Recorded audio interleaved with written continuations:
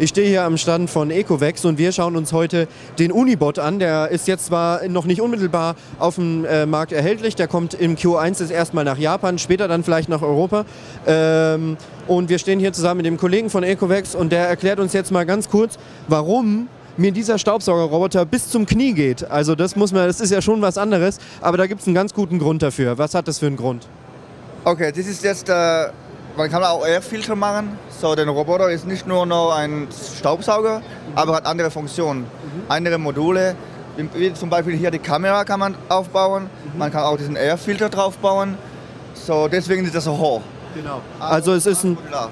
Es ist ein, ein modularer äh, Saugroboter, das heißt, wir haben ihn hier quasi komplett zusammengebaut. Wir haben hier auch noch eine Variante, wo er quasi nur als Staubsaugerroboter unterwegs ist und dann gibt es ihn noch mit Kamera oben drauf. Die kann man für mehreres verwenden. Für was wird die Kamera, die oben drauf ist, denn alles verwendet? Also diese Einheit, diese gesamte Einheit. So, die Ba- Basic-Funktion kann man sagen, okay, nur zu Hause angucken, was passiert.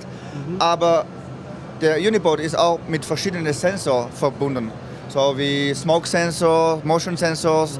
Und wenn irgendwas von diesem Sensor Information gibt, okay, ich habe hier jetzt Rauch, dann geht der Unibot zu diesem Platz, wo das passiert ist, gibt zu der App so ein Signal, Pop-up, und dann kriegst du direkt Videos und Fotos von was passiert ist in deinem Raum. So, die Türe ist aufgegangen, dann geht Unibot hin, nimmt Fotos und schickt das zu der App.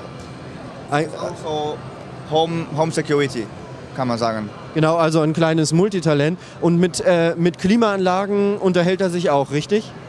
Die alle Signale, die Infrared-Signale, kann er auch kopieren und dann kann er Air Conditioning anstellen, TV, ja, kann er auch machen. Genau, also finde ich äh, ziemlich erstaunlich. Ich könnte also meinem Staubsaugerroboter sagen, fahr mal ins Schlafzimmer und mach den Fernseher an. Äh, wenn das nicht connected und Smart Home ist, weiß ich auch nicht. Ähm, der Unibot hat, ist noch nicht ganz fertig für den Markt. Er kommt eben Q1 nach Japan. Einen Preis gibt es deswegen auch noch nicht richtig. Na genau, noch nicht richtig definiert. Genau. Und für Deutschland sowieso nicht. Wir hoffen wirklich, dass er kommt, auch wenn er ein bisschen hoch ist. Aber ich finde, er sieht sehr witzig aus und ähm, ziemlich clever.